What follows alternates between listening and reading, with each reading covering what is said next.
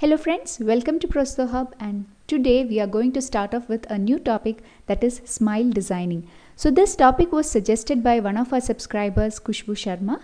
Thanks Kushbu for your support and feedback. So let us begin. So smile designing usually comes as a long essay and as I always uh, suggest you have to write the content list before attending a long essay. It will help you fetch good marks. So let us see the contents beginning off with uh, introduction, then the definition of aesthetic dentistry and smile designing, the goal of smile designing which was proposed by Peter Dawson, the classification of smile, mainly three classification that is by Rubin LR, by Dr. E.G.R. Solomon and by Edward Phillips. Then the components of smile that is very important which includes the facial components as well as the dental components aesthetic diagnosis and treatment planning, principles of illusion, aesthetic treatment planning and sequencing, various treatment modalities that come under smile designing, the digital smile design, and finally the conclusion. And also references. I have forgotten to mm, list it here, but you should not miss the reference section. So coming to introduction, so smile is actually a person's ability to express a range of emotion with the help of uh, the teeth and lips and the coordinated movement. So it was Pierre Fauchard who modernized and promoted dentistry and also advocated aesthetic practices into dentistry. And thus the aesthetic dentistry evolved in order to stimulate as well as improve upon the appearance of the natural dentition. And it was Lombardi RE who explained the various principles of visual perception and its application into aesthetic dentistry. So, in today's world, the dental treatment is not only focusing on prevention and treatment of the diseases, but it also fulfills the demand for better aesthetics. So, as a whole, smile designing can be said as an interdisciplinary approach that involves restorative, orthodontic, prosthodontic and periodontal approaches. So let us see the definition. Aesthetic dentistry is defined as the art and science of dentistry applied to create or enhance the beauty of an individual within functional and physiological limit. So it is mainly to create or enhance the beauty of an individual. We already said in order to stimulate or improve upon the appearance of an individual. And smile designing as per GPT 9, it's a contemporary term for dentogenics. That is a concept that is using the SPA factor, that is gender, personality, and age, in order to uh, arrange the tooth as well as in order to improve the anatomy by means of waxing of cast, entering composite resins on teeth, or digital image enhancement.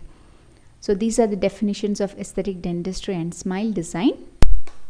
So let us see the goal of smile designing. So as per Peter Dawson, the goal is to develop a peaceful and stable masticatory system where the teeth, tissues, muscles, skeletal structures and joints all function in harmony. So in order to establish a peaceful and stable masticatory system, we have to very well understand the interrelationship between the supporting oral structures that includes teeth, bones, gingiva, occlusion and so on. So this is the goal of smile designing. Now let us see the classification of smile. Mainly three classifications are there by Rubin LR, by Edward Phillips and by Dr. E.G.R. Solomon.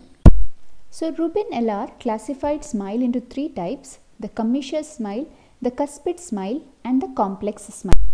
So the commissure smile is the most common pattern that is seen in around 67% of the population. So as you can see here, the shape of the lips is similar to that of a cupid's bow. So the outline is similar to that of a cupid's bow and here the corners of the mouth are first pulled up and outward followed by levators of the upper lip contracting thereby showing the upper teeth. So remember the order first the Corners of the mouth are pulled up and out followed by the levators of the upper lip. Next one is the cuspid smile.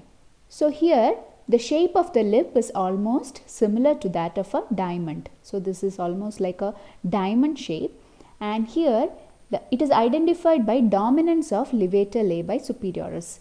So here first the levator labii superioris contracts thereby exposing the cuspid teeth which is followed by the corners of the mouth contracting to pull the lip upward and outward. So it is just the reverse of the commissure smile. So in commissure smile, it was the corners of the mouth that is contracting first and then the levator.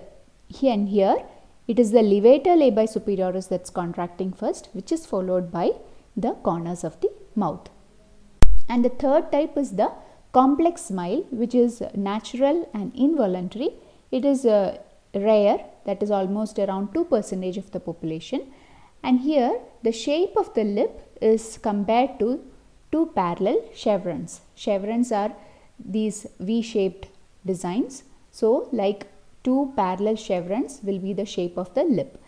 And here the levators of the upper lip, the levators of the corner of the mouth as well as the depressors of the lower lip contract simultaneously and thereby showing all the upper and lower teeth concurrently. So that's why it is named as complex smile because almost all the muscles are contracting showing both the upper as well as the lower teeth.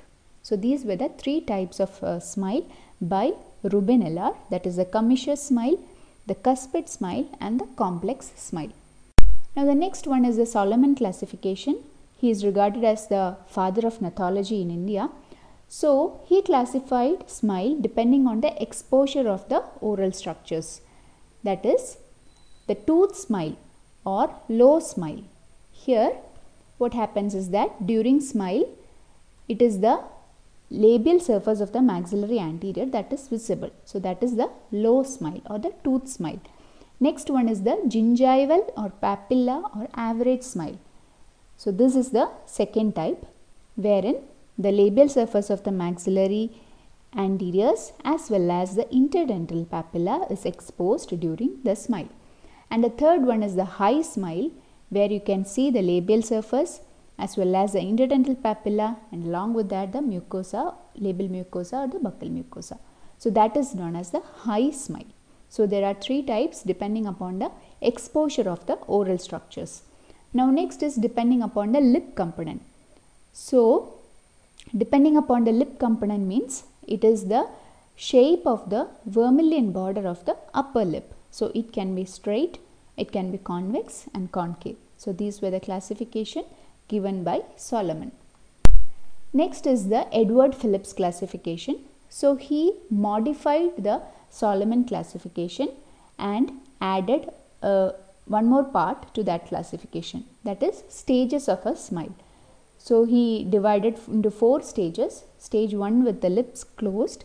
Stage 2 is the resting display. Stage 3 natural smile with 3 quarters of the tooth structure that is visible and stage 4 which is the expanded smile where full of the tooth structure is visible during the smile. So these are the stages of smile by Edward Phillips. So basically three classifications we have mentioned. First one was by Rubin LR, next one was by Solomon and the modification of Solomon's classification by Edward Phillips. Now coming to the important part that is the components of smile. So harmonizing an aesthetic smile means there should be a perfect integration between the facial components as well as the dental components. So facial components include the hard tissues and the soft tissues and the dental components include the teeth and the gingiva. So we have to know the proper relationship between the facial components and the dental components and evaluating and analyzing these two components is very important for a proper smile designing treatment. So let us see in detail the first that is the facial components. So unless there is a facial discrepancy usually what happens is that we will restrict our smile designing only to the tooth structure so this should not be done. Smile analysis is very important. So smile analysis uh, should begin with the facial components. And the facial beauty is depending upon the aesthetic principles of proper alignment, symmetry and proportions of the face. So these facial features includes the facial height, the facial shape that you know the square, tapering, square tapering and ovoid, the facial profile that is a convex, concave and straight and also the soft tissue texture, complexion and tissue integrity according to different age and gender. So these are the facial features in smile designing. So let us see the ideal horizontal and vertical dimensions of a face. So as you can see in the picture, the total width of the face can be divided into 5 parts and each one will be the width of an eye. So the total width of the face is equal to 5 times the width of a normal eye. So this is the width, this it can be divided into 5 parts. And next one is that the distance between the eyebrows and the chin. So this distance should be equal to the total width of the face. So the distance between the eyebrow and the chin should be equal to the width of the face. Now let us see the vertical dimension. So as you can see here, the face can be divided into three parts starting from the hairline. So this is the hairline, this is the eyebrows, these are eyes, this is the base of the nose and these are lips and this one is the chin. So dividing from the hairline to the chin. It can be divided into three parts. So that includes from the hairline to the eyebrows, from the eyebrows to the base of the nose and from the base of the nose to the chin. So it can be divided into three parts. Similarly, from the apex till the chin, the face can be divided into two parts with the midline that is passing through the eyes. So if you consider from the apex till that of the chin, it can be divided into two parts. From the hairline to the chin, it can be divided into three parts. Now let us see the lower half that is from the base of the nose to the chin. It can be divided into two sections that is upper one third that is including the upper lip and the lower two third that is the lower lip and the chin. So this is the another division. So these are the ideal vertical dimension of a face.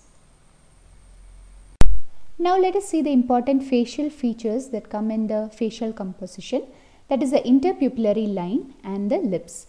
So as you can see in the picture the interpupillary line is perpendicular to the midline of the face and parallel to the occlusal plane or the commissural line that means joining the two commissures. So the, in the next picture as you can see here the interpupillary line is not parallel to the occlusal plane so this can happen either due to attrition, different patterns of eruption or periodontal disease or skeletal factors that is a slanted maxilla. And the next one is the lip which form the boundaries of smile design. So these two facial features are very important. So if there is any major discrepancy in these features, we have to consider correction of facial components first before starting off with our dental components. So, evaluation and analysis of the lip will always help in smile designing. So, what all we have to evaluate? So, the contour of the upper and the lower lip that include the proper lip support, lip protrusion, prominence of chin, recession or prominence of the nose, the nasolabial angle and the Ricketts E-plane. So, the nasolabial angle you can see in the picture, it is the angle formed by two lines that is one along the base of the nose and other on the upper lip. And this angle is usually 90 to 105 degree. And the Ricketts E plane which is an imaginary line that is joining the tip of the nose and the chin prominence. So if you draw a line touching the tip of the nose towards the prominence of the chin, the upper lip should be at a distance of 4 millimeter from this E plane and the lower lip should be at a distance of 2 millimeter. So these are help in lip analysis. And along with those factors, we have to evaluate the width of the lip. So the width can be classified as very thin, thin, moderately thick, thick and full lips. And again symmetry of the lips should be evaluated. Next is the fullness of the lip or the lip volume which can be classified as full lips, average and thin lips. The next is the position of the lip which includes static position and dynamic position. So static position is when the lips are slightly apart, the teeth out of occlusion and the perioral muscles relatively in a relaxed position. So this happens usually during the utterance of the letter M. So this in this position there are four factors which influence the exposure of the tooth and that is the length of the lip, the age of the patient, race and sex of the patient. So that is remembered by the formula LARS that is L, A, R and S. Length of the lip, age, race and sex of the patient. Again the dynamic position of the lip that is the position of the lip during the smile. And finally the lip lines which include upper lip line and lower lip line. So the significance of upper lip line is to evaluate the maxillary incisor display as well as the position of the gingival margin that is during smile. Whereas the lower lip line help us to evaluate the buccolingual position of the maxillary incisor that is the incisal edge whether it is buccally or lingually positioned and also regarding the curvature of the incisal plane. So these are the upper lip line and the lower lip line and based on the uh, position of the lip line again classified as low lip line, average lip line and high lip line. So in this case this is the low lip line, average as well as the high lip line. So these are the factors that we have to consider in the evaluation of lip and the next session is about the dental composition. Thank you all for watching my video. Please do like, share among your friends and subscribe to my channel if you are finding these videos useful. If you have any doubts, any suggestions or any feedback, please do message in the comment section or you can directly mail me at this mail id. Thank you all once again. We'll see in our next session.